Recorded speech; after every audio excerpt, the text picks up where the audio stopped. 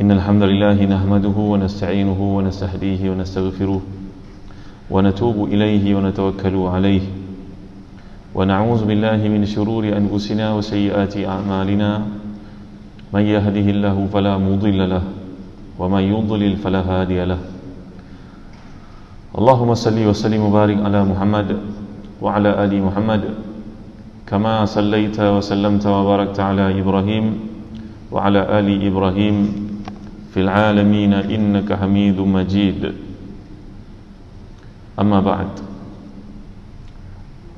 Alhamdulillah syukur kita pada Allah Subhanahu taala kerana pada pagi yang mulia ni dapat kita bertemu dalam satu majlis ilmu. Dan bandingan kedatangan majlis ilmu kedatangan kita ke majlis ilmu adalah ibarat yang dibawakan Nabi sallallahu alaihi wasallam. Umpama pokok yang disirami dengan air apabila bumi itu disirami dengan air maka tumbuhlah padanya pokok-pokok. Menjadi indahlah pandangan. Cantiklah landscape di suatu tempat itu. Maka pokok ini perlu kepada bahan-bahan yang menguatkannya, menyuburkannya. Demikianlah pokok keimanan yang ada dalam diri seseorang kita. Hendaklah dipastikan supaya ia kekal, subur. Maka demikianlah perumpamaan yang dibawakan Nabi sallallahu alaihi wasallam. Pada pagi ini saya bercadang nak bawa tuan-tuan meneroka satu bab yang penting. Bab bagaimanakah setiap muslim itu adab-adabnya dengan Al-Quranul Karim. Ia dipetik daripada kitab yang bertajuk At-Tibyan fi Adab Hamalatil Quran. Yang bermaksud penjelasan kepada adab-adab, etika, akhlak orang yang nak berurusan dengan Al-Quranul Karim. Sesuai dengan Al-Quran ini kedudukannya adalah untuk membawa petunjuk kepada kita. Bagaimanakah kategori manusia yang dapat petunjuk itu? Kadang-kadang kita melihat di barat kajian dilakukan oleh golongan cendekiawan di kalangan orang-orang barat yang dipanggil sebagai orientalis kefahaman mereka kepada Al-Quran itu jauh lebih mendalam dari kefahaman orang-orang Islam kadang-kadang ada setengah kitab hadis dinomborkan oleh golongan orientalis. Ulama-ulama Islam selama 1400 tahun pun tak dapat nak buat begitu punya cekap, cantik dan cemerlangnya bahan itu. Tapi yang membuatnya mati dalam keadaan kafir. Kerana hidayah Allah itu miliknya. Innaka la tahdi man ahbabta walakin Allah yahdi man yasha Sungguhnya engkau tidak akan beri hidayah kepada siapa yang engkau kehendaki wahai Muhammad sallallahu alaihi wasallam. Sebaliknya Allah lah yang beri hidayah kepada siapa yang dikehendakinya. Ayat ini turun berikutan dengan kewafatan Abu Talib sebagai seorang pendukung tegar dakwah Nabi di Mekah. Tapi matinya sebagai seorang musyrik. Dalam pandangan kebanyakan para ulama menjelaskan matinya sebagai seorang kafir walaupun dia menyokong dakwah Nabi sallallahu alaihi wasallam maka kita nak kita baca kitab ini kefahaman kita terhadap al-Quran makin mendalam makin mesra dengan Quran makin mengerti kedudukan al-Quran. Wa ma qadarullah haqqa qadri. Wal ardu jami'an qabdatuhu yawmal qiyamah was samawati matwiyatun bi yaminih mereka itu tidak meletakkan Allah pada tempat yang betul. Mereka tidak menilai kekuasaan Allah dengan pelayan yang betul. Maka dengan sebab itulah si kafir terus menerus dalam kekufurannya maka kita nak pokok keimanan dalam diri kita ni subur dan salah satu daripada caranya yang baca Al-Quran dan baca Al-Quran dengan cara yang betul. Iaitulah Sayyidina Umar Khattab radhiyallahu anhu kalau kita baca dalam kisah-kisah beliau. Sayyidina Umar menjadi imam salat subuh. Dia baca surah An-Nahl. Lengkap tuan-tuan. Dalam dua rakaat. Panjangnya sebanyak subuh Sayyidina Umar. Dan tak ada seorang pun daripada sahabat Nabi Mufarakah dan tak ada seorang pun daripada sahabat Nabi yang akan mengatakan apalah panjang sangat baca ni. Orang nak pergi kerja tak ada tuan-tuan. Ialah zaman dah berubah keadaan dah berubah. Sayyidina Umar baca surah Yusuf. Yang mungkin kalau kita membacanya ketika nak menanti kehadiran anak supaya anak jadi cantik jadi handsome. Kepercayaan setengah orang baca surah Yusuf itu supaya bayi yang dikandung menjadi cantik jelita. Sebenarnya surah Yusuf lebih daripada itu Sayyidina Umar membacanya pada waktu subuh menangislah baginda dan menangislah semua orang dalam masjid. Dan menangislah ibu-ibu yang ada di rumah yang tak hadir ke masjid kerana mendengar suami-suami mereka di Masjid Nabawi menangis. Interaksi mereka dengan ayat inama ashku bathi wa huzni ila Allah wahai Tuhan aku mengadu segala musibah nasib yang berlaku kepadaku hanya kepada engkau tak kala Nabi Yaakob yang mulia itu mendapat tahu kematian anaknya didakwa oleh anak-anaknya yang lain. Mereka berkata Yusuf dimakan serigala. Maka tuan-tuan si ayah tidak punya apa-apa kemampuan melainkan menangis mengharap daripada Allah. Ayat itu turun menceritakan tentang Nabi Yaakob AS tapi orang beriman macam Sayyidina Umar menangis kerana merasakan ayat itu memang kena pada dirinya walaupun dia tidak mengalami kematian anak kehilangan anak seperti itu jadi ini namanya mereka mengenali Allah dan hak-haknya dan membaca dalam firmannya dalam Al-Quran. Kerana apa? kerana mereka mempunyai satu kaedah interaksi yang sangat berkualiti dengan Al-Quran Al-Karim kita antara halangan utama kita kerana kita tidak faham bahasa Arab maka sudah pun tertutup satu pintu eh, ketadabur Al-Quran yang sangat sempurna. Tapi masih ada lagi cara-cara lain yang dikemukakan oleh Imam An-Nawawi dalam kitab yang mulia ini. Lantaran itu kitab At-Tibyan telah mendapat tempat di hati ramai umat Islam selama lebih 500 tahun. Kerana setiap kali mereka nak baca Al-Quran mereka akan baca kitab Tibian dulu untuk mengerti kedudukan Al-Quran memahaminya, menghormatinya. Tuan-tuan nak tahu saudara-saudara kita di kalangan orang Turki yang telah mendirikan satu empire selama lebih 500 tahun, 700 tahun mereka meletakkan di masjid-masjid mereka nama-nama Allah nama-nama Nabi nama-nama para sahabat ahli syurga bukan 4 orang itu, 10 orang itu letakkan dan orang Turki ni punya penghormatan kepada Rasulullah mengatasi semua orang dalam dunia ketika mereka memegang amadah kepimpinan negara Islam mereka tak pernah menjajah orang Arab pun. Tapi orang Arab ni cukup fobia dengan orang Turki. Mereka cukup takut dengan Turki satu filem Turki yang banyak beredar dalam kaca-kaca TV ini namanya Ertugrul Togrul. Ini adalah pengasas kepada kerajaan Islam Osmania Khilafah Osmania. Filem ni takuti di barat kerana ia menampakkan kehebatan orang Islam dulu kala tuan-tuan. Ada kelemahannya. Ketika orang Turki menaungi kerajaan Arab semua negara Arab masuk di bawah naungannya. Kerana negara Arab pecah belah pada zaman itu maka Turki bangkit sebagai satu empire yang kuat ya mereka punya khalifah-khalifah yang sangat hebat. Seperti contohnya Sulaiman Al-Qanuni Sulaiman the Magnificent Muhammad Al-Fatih. Ini merupakan Al-Ghazi. Al-Ghazi ini maknanya panglima warrior tuan-tuan dimuliakan sekalian ketika mereka mendapat amanah kepimpinan Hijaz negara Mekah dan juga Madinah pada masa itu mereka nak bersihkan kubah di masjid-masjid yang hebat itu tuan-tuan. Mereka mengalasnya dengan kain sutera. Kenapa tuan-tuan? Kenapa eh kenapa mengalas dengan kain yang paling mahal? Satu sebabnya untuk penghormatan masjid itu. Nombor dua mereka tidak mahu keluar jatuh abu-abu itu atau jatuh benda-benda lampu ke dari atas. Jatuh ke bawah nanti bunyi bising kerana mereka pegang pada hadis Nabi. Ketika Aisyah radhiyallahu anha ketika Ummu Salamah melihat mereka membuat bising di Masjid Nawawi maka isteri Nabi ini menegur tak boleh diam ke? Tak, tak sedar ke kamu Rasulullah ada kat sini Rasulullah SAW itu walaupun nampaknya wafat tapi baginda boleh menjawab salam kita ketika kita mengungkapkannya Allah lantas sampaikan terus. Rasulullah hidup tu. Jangan buat bising. Kalau anak cucunya main bising-bising ditegurnya jangan bising-bising ini masjid nak bagi rumah Nabi SAW maka orang Turki punya penghormatan kepada Rasulullah. Mereka lebih daripada semua orang lampu-lampu itu ketika dibetulkan dibersihkan pada musim-musim tertentu. Alas dengan sutera kain yang paling mahal. Kalau jatuh tak berbunyi. Subhanallah masya-Allah tabaraka taala. Inilah orang yang mengenal kedudukan Allah kedudukan nabinya sallallahu alaihi wasallam. Maka pada hari ini orang bertanya boleh tak kita baca Quran tanpa pakai tudung? Boleh tak kita baca Quran sambil duduk terkangkang? Saya tengok orang Arab macam tu kat Jordan. Pas yang subuh dia sandar kat dinding di kangkang kakinya letak Quran tengah-tengah kelengkang dia baca ini semua soalan timbul kenapa tuan-tuan? Kerana manusia tidak mengenali Allah SWT. Mereka tidak mengenali tanggungjawabnya terhadap Allah dan terhadap tanggungjawabnya terhadap kalamullah. Kalau benda itu difahami daripada awal dia tidak bertanya soalan itu. Agak-agak kalau seseorang kita menerima surat lantikan yang penting daripada raja lah contohnya watika jemput ke istana pada musim tertentu lah. Dipanggil jadi orang kenamaan orang penting.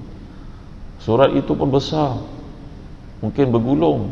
Mungkin dalam envelope warna kuning yang sangat mahal. Sampai kepada kita bagaimana kita buka tuan-tuan? Tentulah berhati-hati. Tak adalah kita buka ketika baring atas katil ketika kat meja makan kat dapur kuah tom yam pun tumpah. Tak ada tuan-tuan. Mana mungkin kita buat begitu? Kerana kita menghormati mengerti kedudukan raja tu. Bagaimana Al-Quran? Yang merupakan surat daripada Allah 1400 tahun dikirimkan kepada Rasulullah untuk kita baca Adakah begitu layanan kita kepada Quran tuan-tuan dimulai Allah sekalian? Maka inilah peranannya kitab At-Tibyan untuk pengetahuan tuan-tuan bila uh, Al-Imam An-Nawawi mengumpulkannya supaya umat Islam membaca kitab ini sebelum baca Al-Quran. Mengerti kedudukan ketinggian kalam Tuhan ini mengatasi segala-galanya sebagaimana ketinggian keagungan Allah banding dengan makhluknya. Baik, di antara adab-adab seseorang pembaca Al-Quran kata beliau pada muka surat ke-26 bersopan santun dan merendah diri. Seorang yang baca Al-Quran atau mengajar Al-Quran tidak boleh membanggakan dirinya di hadapan para pelajarnya. Bahkan dalam menyantuni dan merendahkan diri mereka di hadapan mereka. Terdapat banyak kebaikan pada sikap rendah diri terhadap orang lain. Maka bagaimana pula dengan mereka yang dibaratkan seperti anak-anak sendiri Tambahan perlu mereka sentiasa menyebutkan diri Al-Quran dan memperoleh keistimewaan menuntut ilmu dan sentiasa dapat berjumpa dengan gurunya. Terdapat sebuah hadis Nabi SAW yang mana baginda bersabda, Linu liman tu'alimuna wa liman tata'allamuna minhu. Bersopan santunlah kamu terhadap orang yang kamu ajar dan orang yang kamu belajar daripadanya. Ini adab yang sangat penting. Salah satu adab dalam kita membaca, mengaji, mengajar orang Al-Quran belajar Al-Quran ini adalah adab yang penting. Tawaduk namanya sopan santun rendah diri. Ya maka tuan-tuan dan dan dikasih sekalian ada seorang ulama besar daripada India namanya Abdul Hasan Ali An-Nadwi rahmatullah alaihi. Orang yang sangat disenangi dihormati disayangi oleh semua pelusuk dunia pada waktu hidupnya Andai dia hadir dalam majlis-majlis ilmu yang dihadiri oleh ulama-ulama yang hidup pada masa itu, contohnya Syekh Ali Tantawi, Habannaka Al-Maidani, Yusuf Qardawi pada masa itu masih muda lagi. Ulama-ulama besar ni tuan-tuan, kalau Abu Hasan Ali An-Nadwi hadir, semua mereka akan terdiam. Seolah-olah ka'anna ala ru'usihim tayr. Seperti terdiamnya mereka macam tunggul kalau burung datang hingga pun disangkanya pokok itu, tiang itu. Semua orang terdiam. Kerana kehadiran orang ulama besar dari India di keturunan Rasulullah SAW Abu Hasan Ali An-Nadwi. Ulama yang hebat ini. Tawaduknya, rendah dirinya bercakapnya semuanya nur tuan-tuan. Kalau dia hadir ke Yaman dia menziarahi teman-temannya di kalangan ulama-ulama di Yaman yang hebat-hebat itu yang tak terkenal tapi sangat hebat di Yaman maka Abu Hasan Ali An-Nabi yang tawaduk ini akan pilih untuk duduk di rumah teman-temannya. Tak mahu diduduk di hotel-hotel.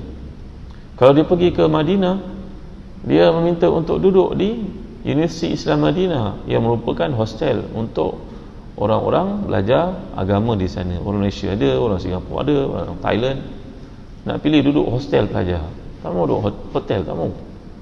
Kerana baginya masa untuk mencari orang-orang baik dengar daripada mereka ataupun menyampaikan satu teguran buat mereka. Kerana manusia ni ada tiga jenis. Kalau lebih alim daripada kita kita anggap sebagai guru belajar dengannya hormat padanya. Kalau sama-sama ilmu tinggi macam kita anggaplah dia teman kita. Boleh bergelak ketawa boleh berkongsi pandangan.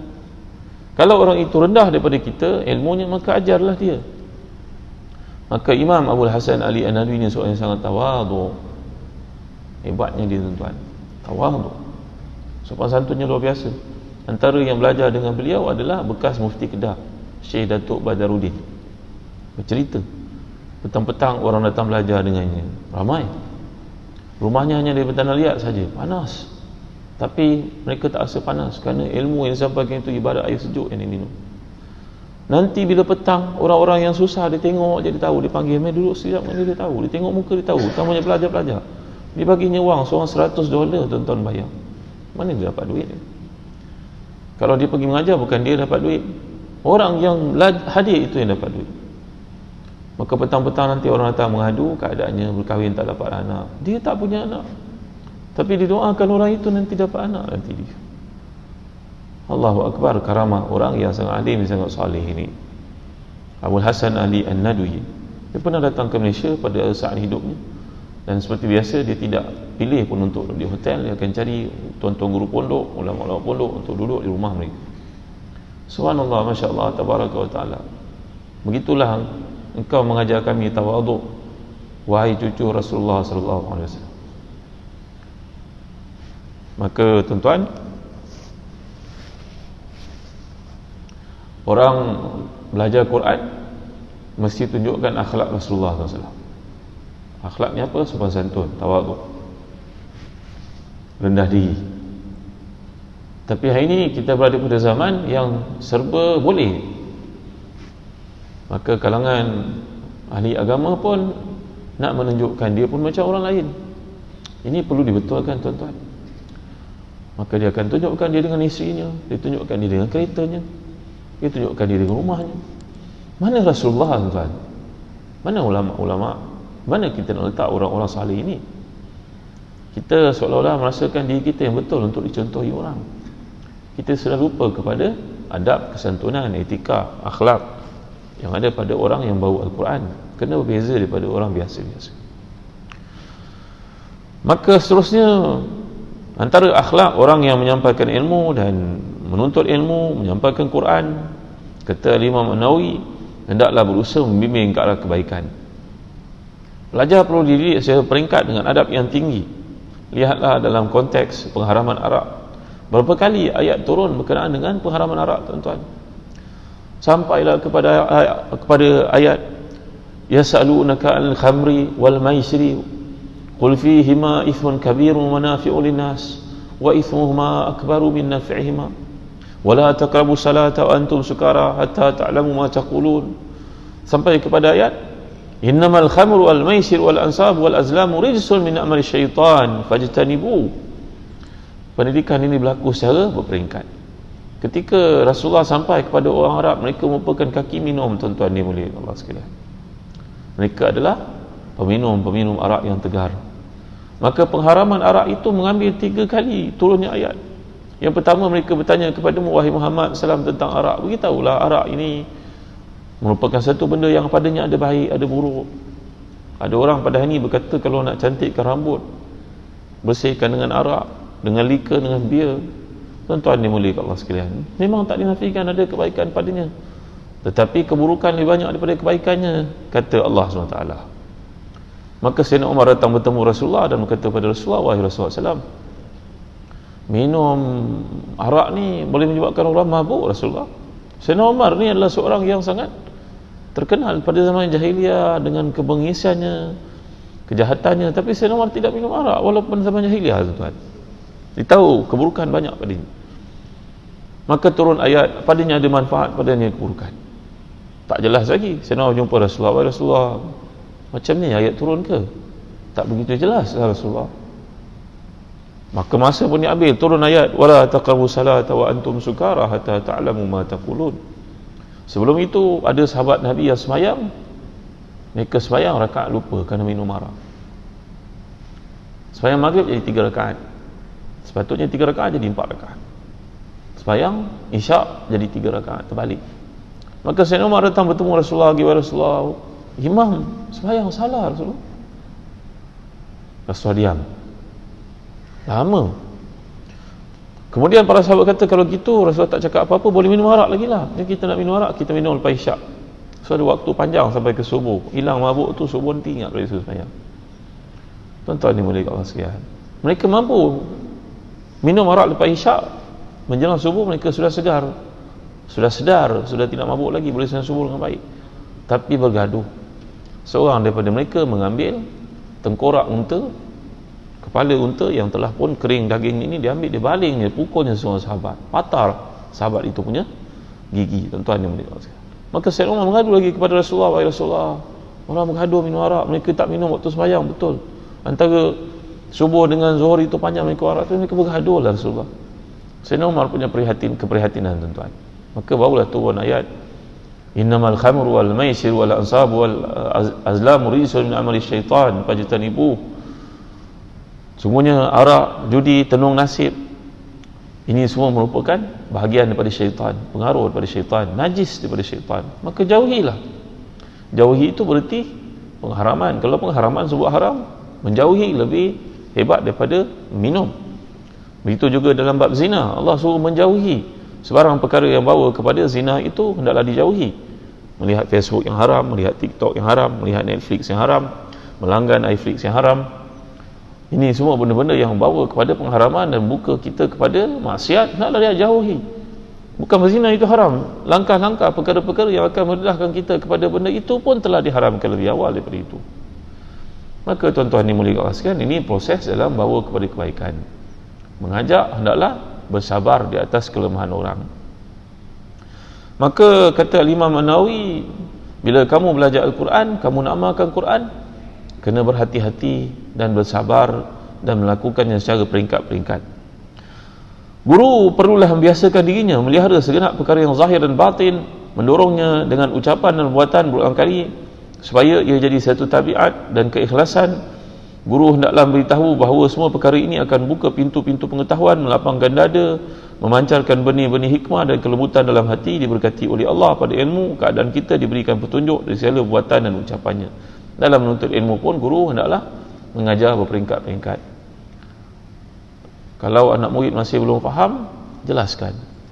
Jadi Islam mengajar kita berperingkat-peringkat berlaku secara uh, beransur-ansur kerana Islam dibawakan oleh Rasulullah SAW pun dalam keadaan seperti itu. Kemudian mengajar sebagai satu kewajipan Mengajar para pelajar adalah fardu kifayah. Jika tiada orang layak mengajar melainkan seorang, maka diwajib mengajar. Jika ada satu kumpulan manusia yang mempunyai seorang yang layak mengajar namun semuanya enggan mengajar, maka mereka semua berdosa. Jika salah seorang mereka mengajar, maka gugurlah dosa daripada yang lain. Jika salah seorang mereka diminta untuk mengajar lalu menolak, maka pendapat yang azhar daripada dua pandangan adalah dia tidak berdosa, tapi tindakannya makruh jika dia tidak memiliki sebarang keuzuran. Alhamdulillah pada hari ini negara kita punya ramai para ustaz yang berkaliber, berilmu yang mana mereka mampu menyampaikan bagai-bagai subjek maka perkara ini berlaku kalau semua orang tidak mahu menyampaikan ilmu lalu orang semua jadi sesat. Ya berlaku dalam keadaan umat Islam pada satu masa semua orang sibuk nak bekerja nak berniaga semua orang menganggap kerja menyampaikan ilmu ni tidak famous, tak glamour, tak ada duit.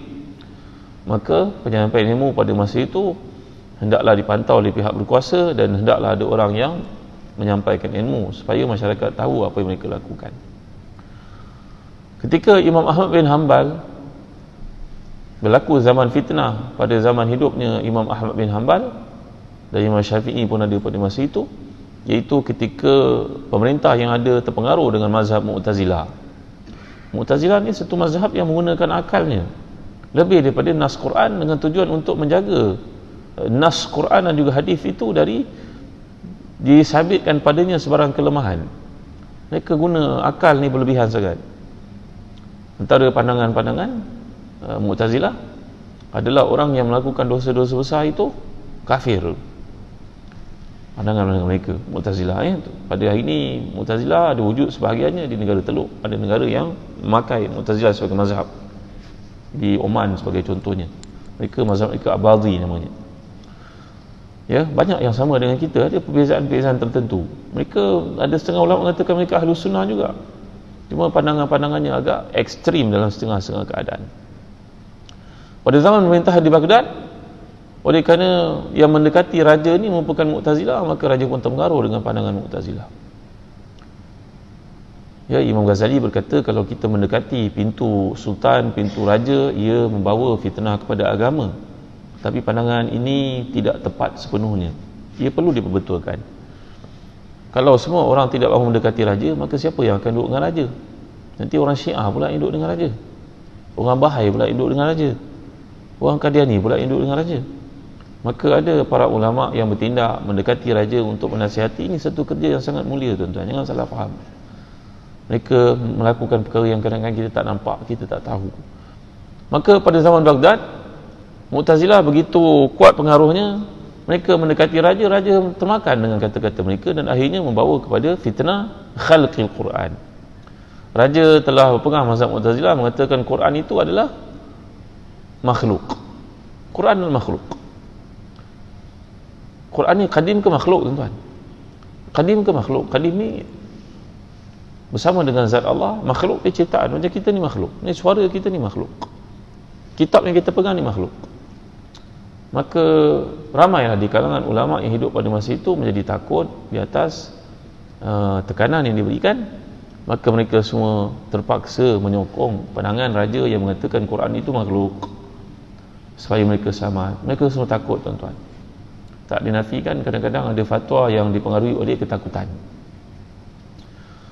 Tiba-tiba Imam Ahmad yang sangat strong kuat berkata tak Quran bukannya makhluk Quran bukannya kadim Quran adalah kalamullah. Bukan A bukan B dia C. Quran ni kalamullah. Quran kalamullah. Yang kau dengar aku bacakan ini yang imam bacakan ini merupakan makhluk suara. Yang ada dalam buku ini dia buku adalah cetakan manusia. Ia adalah makhluk tapi Quran yang kau tanya itu kalamullah. Aku tak kata dia kadim aku tak kata dia makhluk. Maka pandangan Imam Ahmad ni telah menyebabkan beliau dipenjarakan dihukum disebat. Eh tuan-tuan menyebabkan beliau telah pun di jail sampai yang memukul Imam Ahmad ini memukulnya sehabis-habis kuat. Bila ditanya kepadanya kemudian bila dia dah pencen kenapa kau pukul Imam Ahmad begitu kuat dia kata aku pukul Imam Ahmad biar Imam Ahmad mati terus. Aku takut kalau dia tak mati nanti dia pun akan tarik balik fatwanya yang terikut dengan ulama-ulama yang lain. Aku nak dia mati terus. Niat dia betul tapi cara dia salah tuan-tuan. Pemukul di raja ini. Hanya raja itu mati tuan-tuan. Imam Muhammad merdeka. Dia merdekakan dia bebaskan. Dan datang khalifah selepas itu khalifah yang beriman dengan ahlu sunnah. Kejahatan dia tidak akan kekal untuk pengetahuan tuan-tuan yang pentingnya Imam Ahmad ni ketika ditanya oleh ramai ulama berjumpa dengannya wahai Ahmad kata je lah macam raja kami kesian tengok engkau dipukul Ahmad. Engkau hilang punca pencarian. Keluarga engkau kena tinggal engkau kena duduk penjara. Mereka berkata pada Imam Ahmad kesian kat Imam Ahmad. Imam Ahmad berkata wahai saudara-saudaraku ketahuilah olehmu iza sakata al-alimu taqiyatan wal jahilu yajhalu famata yatabayyanul haqq. Kalau semua orang alim diam lalu orang-orang jahil tidak faham kebenaran maka bilakah kebenaran itu akan difahami oleh orang ramai aku tetap akan firm dengan pandangan ni walaupun aku mati walaupun aku dipukul habis walaupun aku berakhir hidup aku aku tetap pegang pandangan dan ketahuilah oleh kamu semua bahawa ini ujian aku. Kamu ujian kamu lain kamu ujian kamu lain. Kamu mungkin ujian kamu dengan anak kamu mungkin ujian kamu dengan pasangan. Kamu mungkin ujian kamu dengan perniagaan. Kamu ujian kamu penyakit. Semua orang ada ujian. Ini ujian aku. Apakah kau ingat kalau aku menyatakan seperti mana yang kamu katakan aku lepas pada ujian Allah? Tak. Nanti ujian akan datang dalam bentuk yang lain. Ujian ini adalah berdasarkan kepada keimanan makin tinggi iman makin besar ujian. Maka Imam Ahmad bersabar. Pada zaman itu lagi tuan-tuan. 1300 tahun yang lalu lebih kurang. Maka ulama-ulama kena berperanan untuk menyampaikan ilmu bimbang nanti manusia berada dalam kegelapan jadi ini yang dimaksudkan oleh Imam Nawawi dalam tibian para guru yang ada ilmu hendaklah berusaha untuk menyampaikan ilmu. Tuan-tuan hati dan dikasih sekalian. Kemudian lagi adab menyampaikan ilmu ni kata Imam Nawawi bersungguh-sungguh dan fokus. Guru hendaklah bersungguh-sungguh mengajar para pelajarnya dengan melebihkannya berbanding kepentingan dirinya di dunia yang tidak mendesak. Imam Nawawi ini hidup dengan serba kekurangan dan kemiskinan. Zuhud. Pernah orang bertemu pada imam yang mulia macam imam uh, Nawawi ini ada seorang nama Imam Bukhari sebelum Imam Nawawi. Dan orang kaya ini berkata kepada Imam Bukhari wahai Imam Muhammad marilah pergi ke rumah saya. Mari tengok rumah saya dalam Quran kata rumah yang cantik dalam syurga ada sungai yang mengalir di bawahnya. Maka saya buat rumah ada sungai yang mengalir di bawah rumah saya marilah pergi tengok. Ha, kan tuan-tuan dimuliakan Allah sekalian. Ini banyak perumahan buat ada tasik. Ya tak ada pula rumah yang buat ada sungai. Ini tuan boleh kau sekalian. Maka orang berharta ni 1300 tahun lalu datang jumpa imam Bukhari berkata kepada imam dia tengok rumah saya. Maka imam Bukhari pun tengok rumahnya. Memang secantik-cantik rumah tuan-tuan. Ya kalau orang berharta rumahnya ada kaca di bawah lihat air mengalir di bawahnya ikan-ikan. Allahu Akbar Masya Allah Imam Bukhari pun melihatnya berkata kepadanya Masya Allah ini semua adalah hiasan hidup dunia.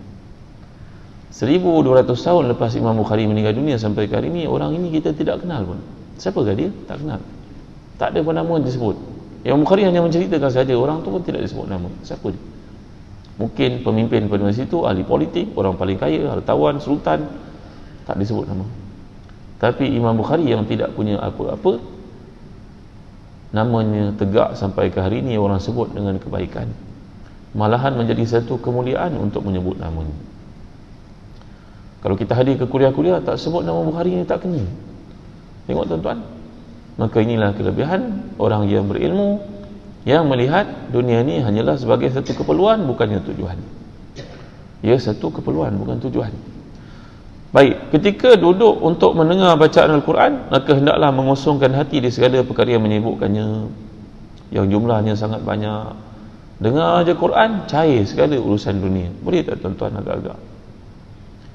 Ya, mereka mendengar Al-Quran macam seseorang daripada manusia mendengar lagu-lagu terbaik, himpunan lagu-lagu koleksi yang paling indah yang disebut orang di sana sini mereka mendengar Al-Quran lebih lazat daripada seseorang itu mendengar lagu-lagu hiburan. Dia juga hendaklah berusaha untuk beri kefahaman kepada mereka dan berikan sesuatu yang sesuai bagi setiap orang. Maka dia tidak boleh mengajar satu perkara yang berlebihan kepada pelajar yang tidak mampu menerimanya dan tidak pula boleh mengajarnya dengan cara yang sedikit bagi pelajar yang mampu menerima lebih daripada itu. Maknanya di sini nahnu ma'asyiral anbiya umirna an nunzilana sabanazilahum wa nukhatibahum ala qadri uqulihim kita mengajar anak-anak mengikut kepada tahap ilmunya. Kalau dia bersedia untuk memahami lebih beritahu yang lebih. Kalau dia belum faham perkara yang asas jangan ceritakan kepada dia perkara-perkara yang lebih lanjut. Nanti menjadi fitnah kepada agamanya bila dia tidak faham. Di samping itu guru juga perlu menyuruh mereka mengulangi hafazan. Guru boleh memuji pelajar yang lebih cerdik selagi tidak takut fitnah timbul kepada pelajar yang lain ini tuan-tuan dimulai Allah sekalian. Pada ini kalau hari anugerah peperiksaan, lazimnya pihak sekolah akan manggil pelajar-pelajar cemerlang naik atas pentas. Ini bergantunglah kepada keadaan. Asal saja jangan sampai menghinakan orang yang tidak punya kelebihan. Kalau ia boleh memberi motivasi kepada orang lain, penghargaan kepada orang lain, boleh lakukan. Bergantung kepada keadaan. Ya, itu maksudnya. Bagi pelajar yang cuai, guru boleh memarahinya, dengan syarat tidak mengaibkannya dan tidak menyisihnya daripada orang lain. Daripada mana ni tuan-tuan? Daripada Rasulullah sallallahu alaihi wasallam. Sayyidina Umar Khattab radhiyallahu anhu menjadi imam sembahyang subuh pada satu ketika. Jadi imam sembahyang satu ketika. Di hujung sembahyangnya sebelum bagi salam tiba-tiba Sayyidina Umar terhidu bau yang busuk dan semua orang di saf pertama menghidunya. Ternyata ada seorang di kalangan yang sembahyang di saf yang mula-mula itu terkentut agaknya tak tahan sangat terkentut busuk baunya semua orang bau sampai imam bau selesai sembahyang imam yang mulia Umar Khattab menegur dengan tegas siapa yang sembahyangnya terbatal tak malu kan dia sembahyang dalam masjid Nabawi terkentut busuk. Kalau ia pun tahanlah dulu. Kenapa kentut? Bangun pergi ambil uduk sembahyang balik semula. Sayyidina Umar marah dengan tegas begitu. Sayyidina Umar yang terkenal dengan orang yang tegas. Suaranya pula kuat Tiba-tiba datanglah seorang sahabat Nabi namanya Jarir bin Abdullah Bajali radhiyallahu anhu, sahabat yang handsome yang disifatkan wajahnya macam Sayyidina Yusuf alaihi salam itu menegur Sayyidina Umar dengan lembut suaranya tak didengari siapa pun dengan berkata wahai Amirul Mukminin Sayyidina Umar khalifah pada masa itu. Wahai Amirul Mukminin adalah menjadi sunnah Rasulullah ajar kita. Kalau kita dah sembahyang kita melihat orang belum sembahyang kita sembahyang bersama dengannya dan menjadi satu hikmah. Tentulah malu dia nak pergi ambil uduk nanti semua orang perhatikan dia selepas Tuhan menegurnya. Alangkah baiknya kalau semua kita ambil uduk dan meraihkan dia sepanjang lagi sekali. Sama dengannya. Tak perlu kita tahu pun siapakah orang. Kita dapat pahala dua kali. Pahala sepanjang berjemaah yang pertama pahala sedekah untuk orang yang terkentut tadi yang kita tak perlu tahu siapakah dia. Sayyidina Umar memandang Sayyidina Jarir ini dengan penuh penghargaan berkata kepadanya wahai Jarir Masya Allah memang engkau ni orang yang hebat. Rasulullah bersabda tentang kau ni untuk pengetahuan kau ma wusifali rajulun katu wa illa wa ra'aituhu duna ma wusifa bihi illa anta ya Jarir tak pernahlah aku melihat manusia diceritakan perihalnya aku dapati orang yang diceritakan kelebihannya itu kurang daripada yang diceritakan melainkan kau. Setiap kali orang menceritakan tentang engkau aku dapati apa yang ada pada dirimu lebih daripada apa yang mereka ceritakan. Engkau lah orangnya wahai jarir Rasulullah bersabda pada aku. Maka Sayyidina Umar pun mengajak semua orang ambil sembahyang dan sembahyang balik semula meraihkan yang terkentut itu. Ini namanya apa tuan-tuan? Namanya hikmah. Meraihkan orang. Makin kita belajar makin tinggi adab kita. Makin kita belajar makin menjadi contoh yang baik dalam hidup kita. Ya? Ada orang dia berakhlak dengan orang yang hebat-hebat dengan orang biasa dipandangnya macam hampas dihinanya dijerkahnya ditengkingnya ini tidak betul tuan-tuan yang mulia Allah sekalian la ilaha illallah muhammadur rasulullah ini bukan akhlak rasulullah sallallahu alaihi wasallam itu sebab setengah orang kadang-kadang dia pakai serban. Dia pakai jubah. Tanya pada dia, Tuan, kenapa pakai serban? Tuan, Rasulullah SAW tak ada pula hadis mengatakan pakai serban. Betul. Tak ada hadis mengatakan Rasulullah kepala dengan serban. Tidak ada. Tidak ada. Yang ada Rasulullah meletakkan serban di atas kepala macam imam menyampaikan dalam khutbah. Tetapi bila kita baca kisah ramai para sahabat mereka pakai lilit serban di kepala. Jadi itu juga menjadi sunnah sebenarnya. Bila sahabat pakai begitu tentu mereka ambil daripada Rasulullah maka lilit kepala di atas serban di atas kepala itu amalan Rasulullah sebenarnya walaupun tidak ada hadis tapi itu yang kita belajar kita lihat orang lain pakai maka mustahil umat ni berhimpun dalam kesesatan tuan-tuan itu jawapannya tapi baik, baik, baik. Saya tahu memang tidak ada hadis. Tapi saya pakai serban ni, bila pakai serban, saya malu nak tengking-tengking orang. Malu nak lihat maksiat. Malu nak pergi tempat maksiat. Malu nak bersembang benda-benda larang. Allahu Akbar hebatnya niatmu niatmu menyebabkan dikira oleh Allah dengan sebab itu kita jangan hina orang pakai begitu tuan-tuan ada orang dia balik haji langsung dia pakai jubah tak mau pakai baju biasa lah. Perubahan berlaku pada dia pakai ketayak ada pakai pakai serban mungkin ayah kita datuk kita kat kampung begitu gaya kalau buka serban tu pun siap gulung letak kat paku nanti pakai balik tanya dia kenapa pakai begini dia jawab, ya pakai bukan bukan sunnah yang warid dalam hadis Nabi. Ya betul. Tapi saya pakai ini melindungi saya daripada buat maksiat. Allah. Masya Allah, tabaraka wa ta'ala. Ada orang pakai serban datang meeting-meeting korporat tuan-tuan. Semua orang terkejut. Orang nak buat pelanggaran hukum pun jadi malu pada dia. Bukan saja dia dapat kontrol diri dia daripada buat maksiat. Makan orang yang duduk kelilingnya pun jadi takut. Oh jangan main. Ni wali Allah ni. Walaupun katanya bentuk kadang-kadang satu ejekan perlian sindiran tapi dia sendiri pun takut pada orang itu tuan-tuan subhanallah masya-Allah tabaraka wa taala jadi jangan rasa bersalah untuk mengamalkan satu amalan orang saleh mudah-mudahan ia satu sunnah Nabi sallallahu alaihi wasallam. Baik tuan ya adil dalam mengambil berat. Orang yang mengajar ilmu hendaklah mengambil berat hal pelajar-pelajarnya. Mendahulukan orang datang awal untuk belajar Al-Quran mereka kemudian seterusnya. Jika orang datang awal tidak kisah kalau orang lain mendahulunya maka guru boleh mendahulukan orang lain.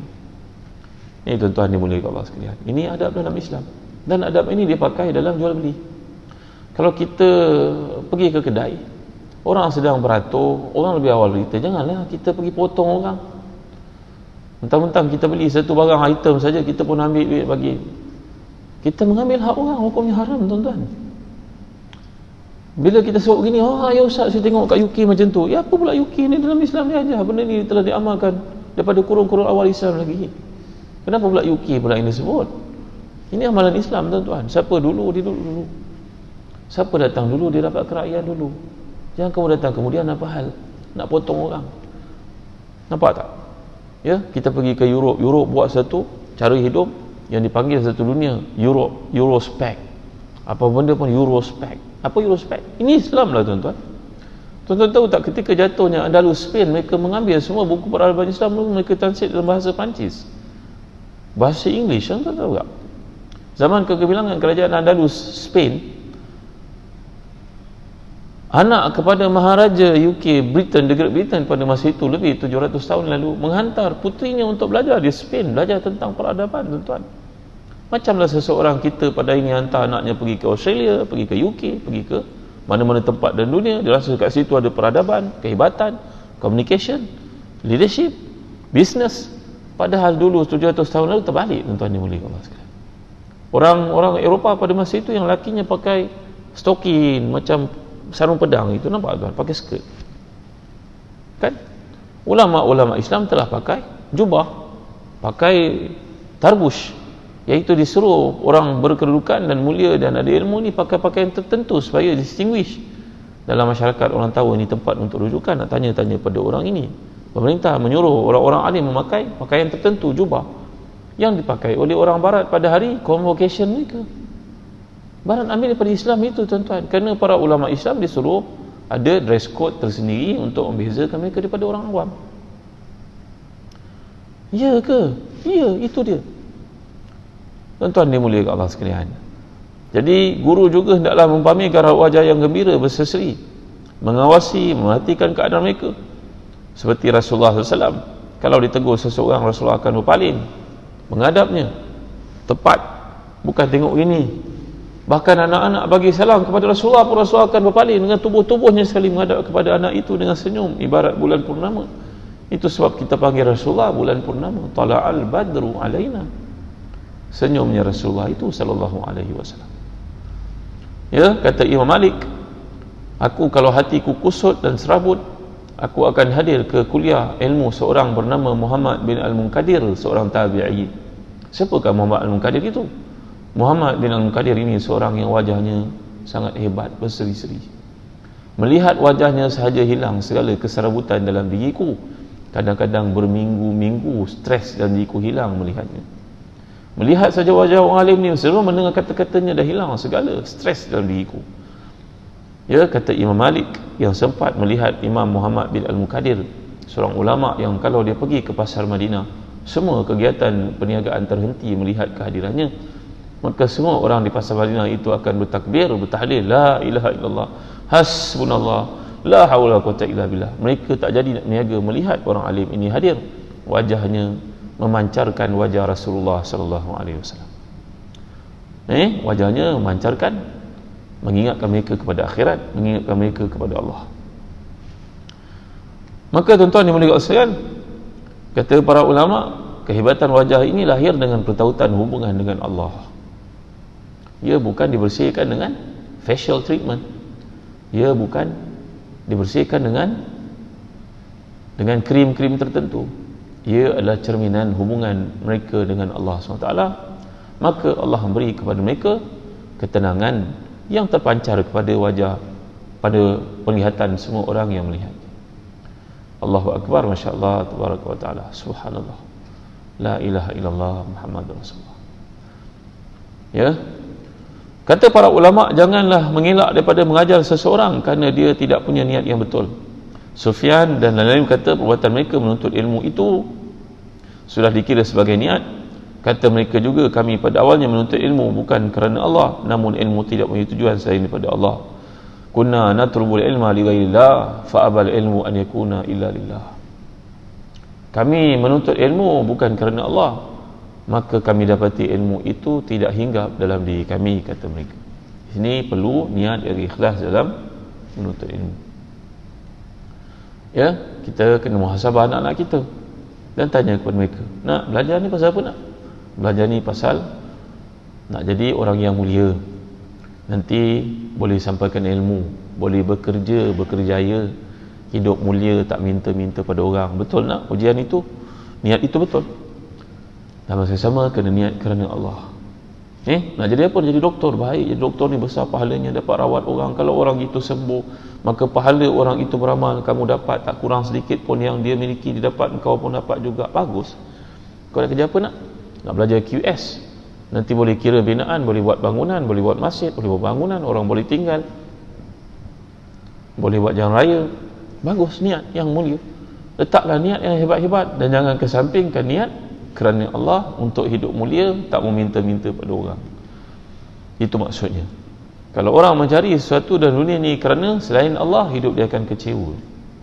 Tapi kalau dia menuntut satu perkara dan mencari kerana Allah maka dunia itu akan datang rokok dan sujud kepadanya. Benar dalam hadis mengatakan demikian. Man kana fi dunya hammahu jama Allahu syamlahu wa atathu dunya wa hiya raghimatun wa ja'ala ghinahu fi qalbihi ad dunya hammahu shattata Allahu amrahu wa ja'ala uh, faqrahu baina aynayhi wa lam ya'tihi min ad-dunya illa ma qaddara lahu man kanat al akhiratu hammahu siapa yang akhirat itu targetnya maka Allah akan berikan kekayaan dalam hatinya. Dunia itu datang rukuk dan sujud menyerahkan diri kepadanya. Sesiapa yang mencari dunia itu bukan kerana Allah menjadikan target dunia segala-galanya maka Allah akan menjadikan kemiskinan itu duduk di antara dua biji matanya. Setiap pagi dia bangun dia rasa susah. Setiap pagi dia bangun dia rasa terdesak. Setiap pagi dia bangun dia rasa hidupnya sempit. Dan dunia itu tidak datang kepadanya melainkan yang ditentukan oleh Allah. Engkau usaha ke engkau tak usaha ke dunia telah terbahagi untukmu. Engkau usaha engkau dapat pahala. Tapi kalau engkau usaha cari yang haram engkau dapat dosa. Nak buat apa?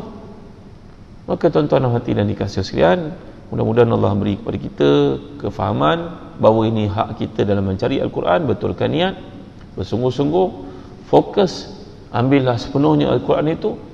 Kerana amat rugi kalau kita tidak berusaha untuk memahaminya. Mungkin sebahagian daripada umat Islam menguasai bahasa antarabangsa dengan begitu baik sekali. Mereka beritahu tak lama lagi orang kena belajar bahasa Mandarin. Bahasa Mandarin penting. Tapi janganlah ketepikan bahasa Arab tuan-tuan kerana ia perhubungan kamu dengan Tuhan.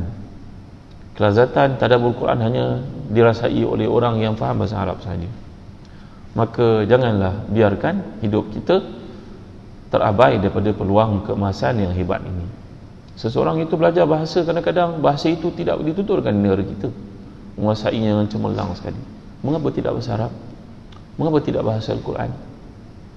Kerana bahasa Al-Quran ini berkaitan dengan iman sebenarnya orang yang belajar bahasa Arab adalah orang cinta kepada Quran dan itu tanda imannya segar tuan-tuan dimulai Allah sekalian baik setakat ini saja dulu untuk renungan kita pada pagi yang mulia ni moga-moga dapat manfaat dapat kesedaran wallahu alam sallallahu ala sayyidina Muhammad wa ala alihi wa sahbihi wa baraka wasallam alhamdulillah rabbil alamin Allahumma a'ina ala dhikrika wa syukrika wa husni ibadatika اللهم اجعلنا مقيم الصلاة ومن ذريتنا ربنا وتقبل دعانا اللهم احسن عاقبتنا في الأمور كلها وأجرنا من كذب الدنيا وعذاب الآخرة ربنا لا تزغ قلوبنا بعد إذ هديتنا وهب لنا من لدنك رحمة إنك أنت الوهاب ربنا آتنا في الدنيا حسنة وفي الآخرة حسنة وقنا عذاب النار صلى الله على سيدنا محمد وعلى آله وصحبه وسلم والحمد لله رب العالمين Tuan-tuan, jangan lupa untuk sembahyang sunat syuruk telah masuk waktunya sekarang bagi mereka yang duduk lepas subuh sampai ke waktu sedemikian sembahyang sunat syuruk maka baginya pahala menunaikan umrah lengkap lengkap lengkap kata Nabi. Dalam hadis lain haji sempurna sempurna sempurna kata Nabi SAW kalau tak ada wuduk ambil wuduk sembahyang sunat. Kalau tak pernah buat cuba buat daripada sekarang. Ia adalah permulaan salat sunat duha. Ya? Wallahu alam. Assalamualaikum warahmatullahi wabarakatuh